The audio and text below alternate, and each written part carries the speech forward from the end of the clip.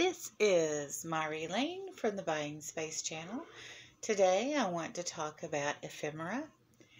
On Thursdays at 9 o'clock, I hang out at Nana Tink's Treasures, and Nana Tink has been giving away ephemera in a contest that's fair. It doesn't uh, matter uh, what your lag is on your computer, your internet speed, where you are in the world because she puts your name on a wheel and spins it and everybody has an equal chance.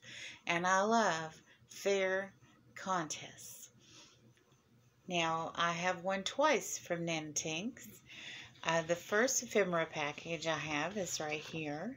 Uh, it's, uh, it was a package about conservation, irrigation on western farms, a lot of ephemera has lost knowledge.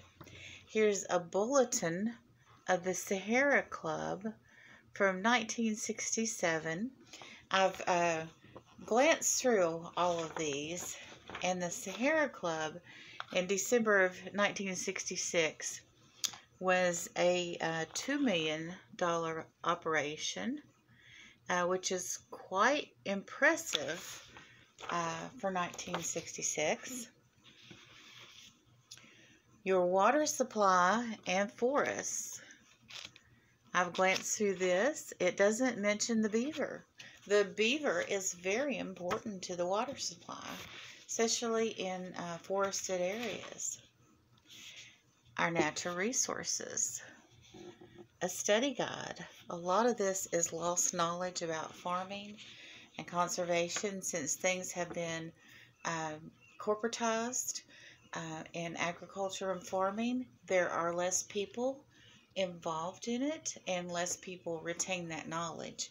And less people have that knowledge of how to do things um, you know on a, a smaller scale. Uh, that information that knowledge is being lost. Uh, conservation activities for young people. When I was young, I was a member of the 4 H club. This is How to Teach Wilderness Conservation. San Francisco Bay Charter of the Sierra Club. And I love this booklet, The Glory Trail. And this goes back into the history of the Great American Migration and impact on natural resources. Now, I've been a genealogist since the age of 10, and I've uh, studied migration patterns um, that uh, were common among my ancestors, and occasionally ran into uh, migration patterns of uh, other groups of people in studying that. And I love this picture because it starts with the conquistador. Of course, this has all um, been co- uh, focused on the west coast and goes to the locomotive over here. But uh, it also, I, I, I was looking through this and found an interesting quote. Now, I had ancestors at Jamestown and uh, every Thanksgiving, I have a beef about everybody talking about the Pilgrims and the Mayflower and how early that was. Um, Jamestown was at least 10 years before uh, the Mayflower. Uh, but also, once history, once the United States gained more states and more territory, the 13 colonies history continued to be in textbooks long after say Florida was a state, and um, St. Augustine uh, had uh, settlers there, uh, I believe, in the 1580s, 1590s. I have to look that up. But anyway, here it is in California, and I think the Spanish were in California uh, around the same time they were in St. Augustine. Um, or maybe before. That's something I need to look up. But here I was just opening this up and reading in 1602, before Jamestown, Vizcaino had mapped a goodly part of the California coastline. The same year, Champlain began his tentative thrusts into St. Lawrence country. So um, I love history, and this is history combined with how affected natural resources. Now, that's the first lot I won, or uh,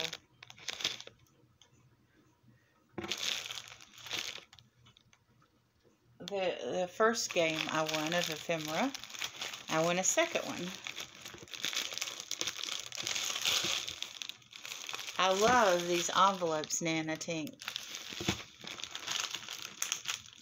With the books on them.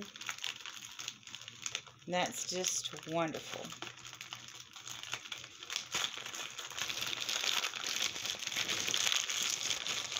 So I won the second package of ephemera.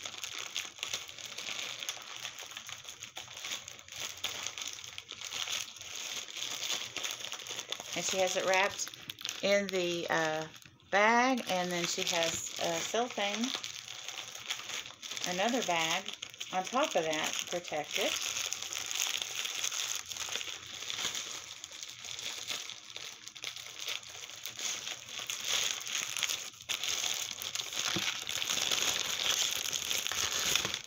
Yes, folks, I'm using my bare hands. Thank you for your support.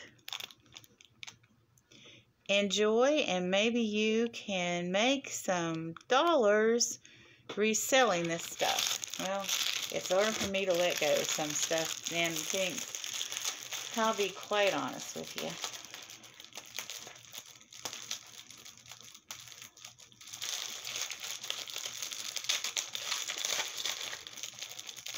The bag in the bag is sealed really well to protect the paper. Uh, that's real important when you mail out ephemera that it not get wet.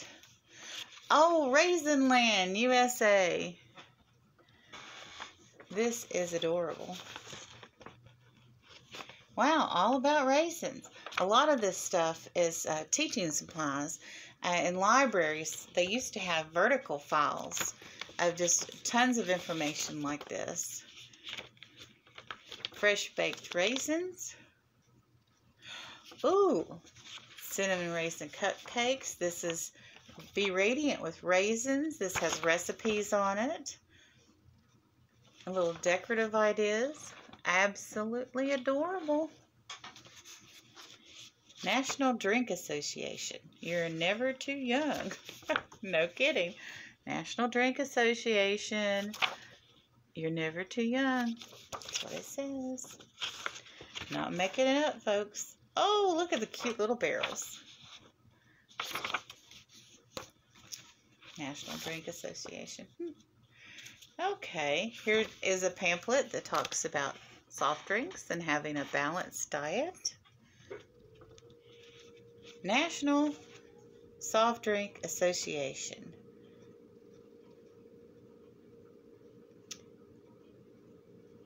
Liquids for living.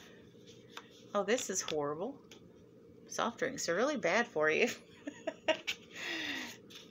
I didn't know that exists. Oh, a brief discussion of sugarcane. I know there's a big brouhaha about uh, the information that was put out about sugar early on. I'll have to look that up and see if uh, either one of these uh,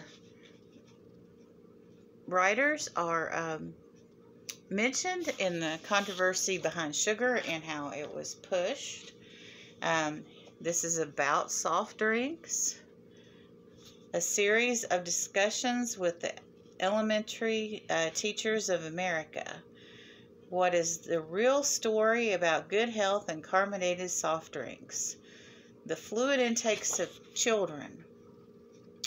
Wow the genie of CO2. We've let the genie out of the bottle for sure. And that's that uh, lot. And uh, here's Nana Tink's thank you card. I really have fun hanging out with Nana Tinks. She knows my language when I say Silvercrest or Hobnail or Carnival or Pyrex. She knows a myriad of information along to go along with that, uh, whereas most people don't. Most people are like, "What is she talking about?" But Nana Tinks speaks my language. Thank you, Nana.